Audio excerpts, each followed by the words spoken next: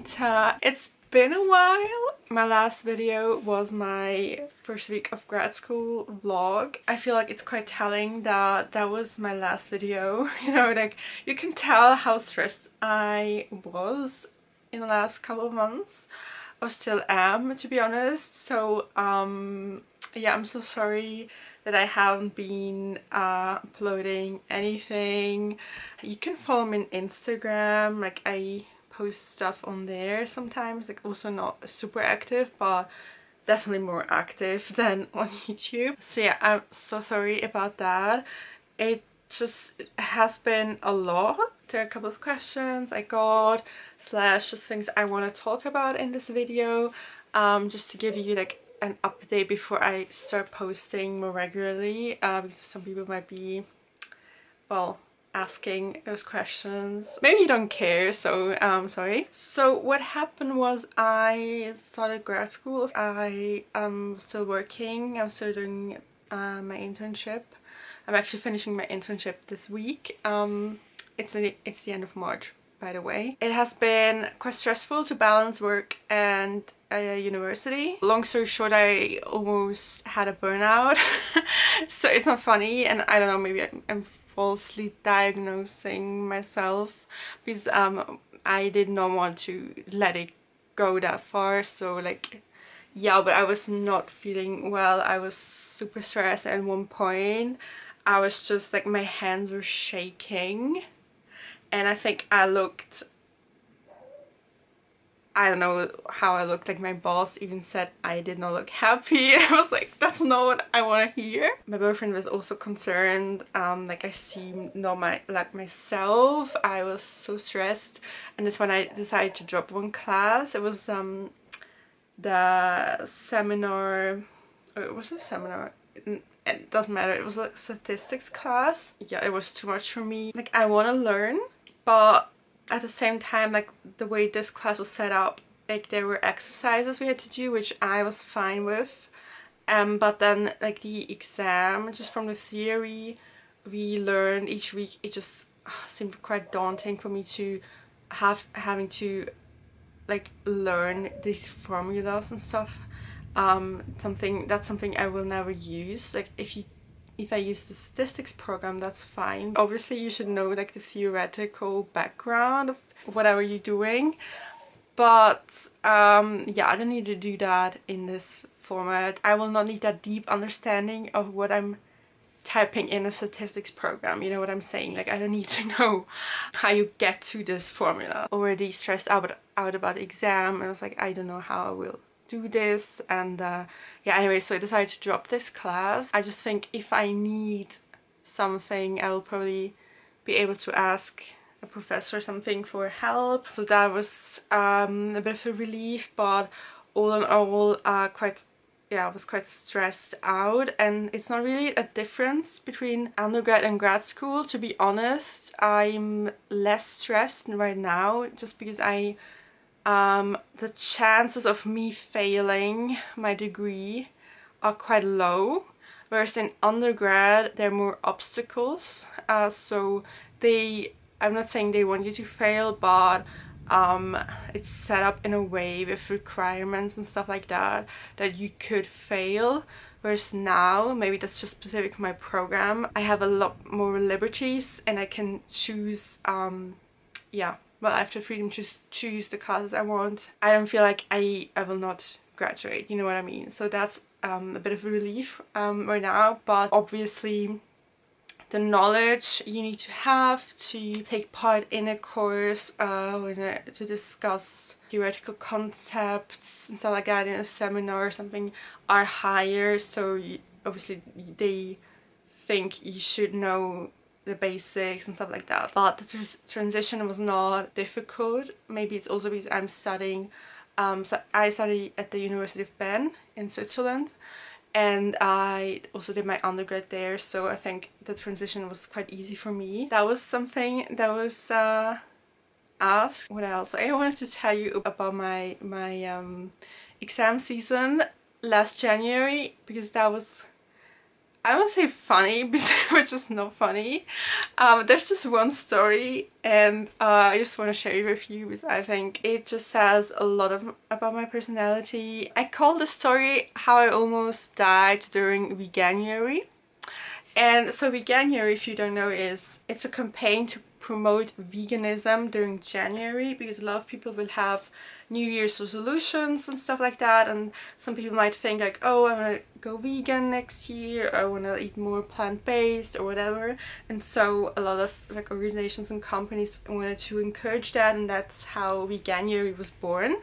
And so during Veganuary um, there are a lot of vegan options and I, they just like to promote it and stuff like that. And this story happened uh, one day before one of my exams. On that day of the exam I also had to hand an essay in the evening so there are like two, two things going on and the day before I uh, went to work and uh, sometimes before work I go to this grocery store and get breakfast. So they have some baked goods there as well and I usually get this chocolate bread uh, pastry, basically uh, pain au chocolat I don't know if there's like an English word to describe it, like pastry of chocolate, with chocolate filling.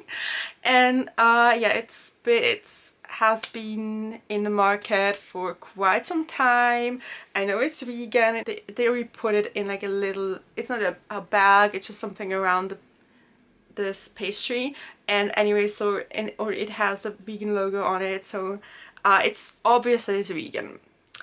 However, during Veganuary, I guess this store thought it would be a good idea to put like little flags in these pastries. You know when they, there's like a toothpick with a little flag on it for whatever, like some people use it for birthdays or like events and you put that in in in the food and they had those uh, with like a flag that said vegan don't ask me why. So they put that in those little pastries and um, which is not, you know, concerning whatsoever, but just wait because it will become important um, in a second. So I buy this, I eat it on the on the train so I, I commute to uh, work and to university it's not that far away, like work's not that far away from me. And so I'm quite busy texting people back because I don't really have that much time to text people, so I text them back when I uh, have time and I eat um, the pastry on the same time.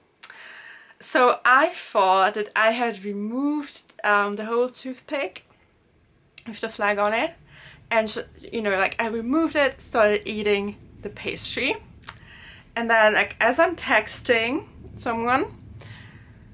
I want to, you know, swallow the pastry, um, or the bite I just took, whatever, and um, that's when I notice that something's not right.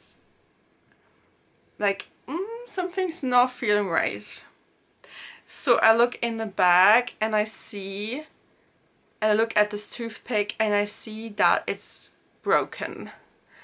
Um, yeah, and that's when I realized that when I thought I had pulled it out, I only pulled out half of it and half of it was still stuck in the pastry um, and that I had swallowed that. So I had swallowed half of a toothpick.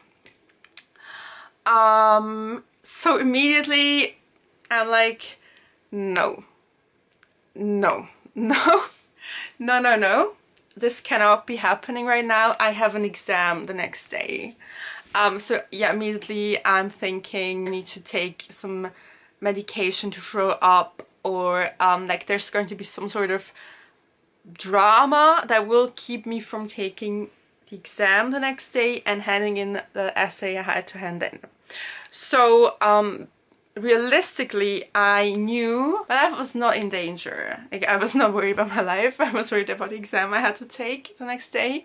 And like just from Google Google research I saw that like usually you're fine. Like you can swallow a toothpick. You'll you'll be fine. But there's still a chance that um, it might hurt you. It might hurt some organs on the I don't know. It, I'm not a doctor. Um, so yeah, I was like, okay, I just don't have time. I just, I don't have time for this. I um, also had a meeting at work, so I was like, no, absolutely not.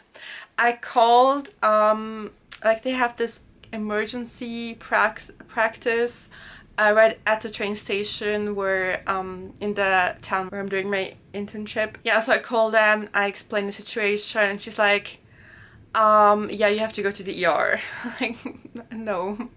Um so yeah so I was like no okay whatever. Let me just go to work I have the meeting and then I'll just go to the ER you know whatever.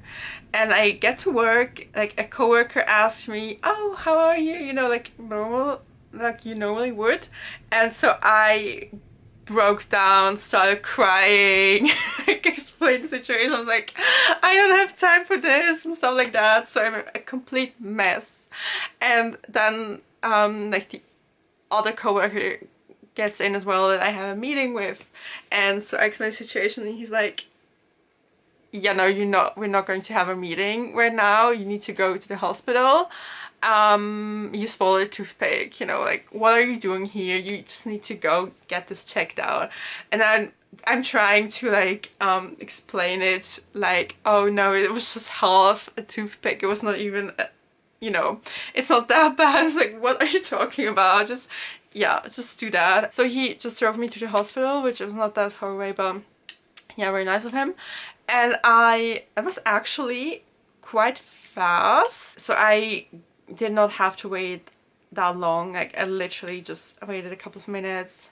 Someone got me. It was unusual um because usually I've, I've uh, for for an appointment like that I usually would have to wait longer so I don't know what was going on but um great. Yeah they did not do that much. It was just like does anything hurt and I was like no. And um yeah just checked if I could breathe normally and stuff like that. And then um the doctor just told me, uh, yeah, like there's nothing we can do for you. If you feel pain, uh, yeah, then you need to come back. I was like, okay, great, thanks. uh, so uh, in my mind I was like, okay, whatever. Uh, but still a tiny bit worried that I might um, develop some complications from swallowing half a toothpick. So yeah, never mind. That was such a random story. And I was as you can imagine um, then I took the exam. That was my second exam by the way. Like my first exam went quite well. Um, and then like there was that was like a week after that. And I had this exam. I failed that exam actually. Um, maybe I should talk about what the exams were. I'm sorry this video has no structure whatsoever I'm a master student I study political science but uh, in my uni, with my program, I also get to take a minor and I am doing a minor in criminal law. First exam I had was for a lecture called Criminalistics. Uh, it was my favorite lecture last semester. Every week another person from the police uh, department came in and talked about their um, office, about uh, what they do. For example, like someone is responsible for the for environmental crimes and crimes against animals um, and stuff like that. So you you heard about a lot of different fields within the police and how also they they go about um, solving crimes stuff like that. So um, that was super interesting and I had exam and I did really well. I'm really proud of myself. Um, but it's also yeah it's just it was such a fun class. So um, yeah I took that then I, like I said, failed one exam. That was um, the day after the toothpick incident. And uh, yeah, that was a European and international criminal law. And I mean, I failed it. I just, it did not take that. I, if I had, I guess, studied a tiny bit more, I would have passed. So it was not like a complete failure, but yeah, not enough to pass. And I will retake this um, this summer. Then I had to submit an essay for my policy analysis class. We had to apply different methods of policy analysis to um, a case and yeah write it out and I, there was another exercise during the semester which counted 30% um, of the final exam and this essay counted 70% so um, yeah that was that and then I feel like I, I feel like I'm missing something. The other exam I took that on um, victimology uh, also for my minor and I passed that one but I'm not happy with the grade but whatever I passed it uh, but I also enjoyed that class so that was my exam season um yeah happy that I survived the toothpick incident. I don't know what to tell you guys. Like, it was so bizarre and I was just, I don't know what to say. And I was also joking around constantly, uh, like, at the office because I just want I just had to make fun of myself because it's so ridiculous. Like, why am I like this? Um, yeah. Anyways, there's not a lot to say. Uh, still um, working, still going to grad school.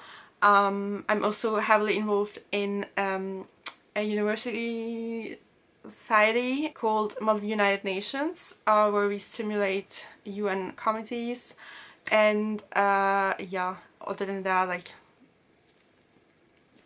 I'm living my life so um, you know you know how it is. And I promise that I will be more active from now on from now on. Uh, so if you have any video ideas just let me know um, in the comments down below. Also I'm super excited uh, because next semester so starting in like the end of August I will be studying abroad and I will make a whole video series about that. And um, yeah, I will not reveal too much um, because I will make a video soon about where I'm going and how I chose that specific university and maybe what to look out. Um, I don't, just like my first impressions as well and like the process of applying just um, yeah and stuff like that. Other than that I will just take you with me on this grad school journey and I hope that uh, this is a good comeback. I know the lighting is not that great but yeah.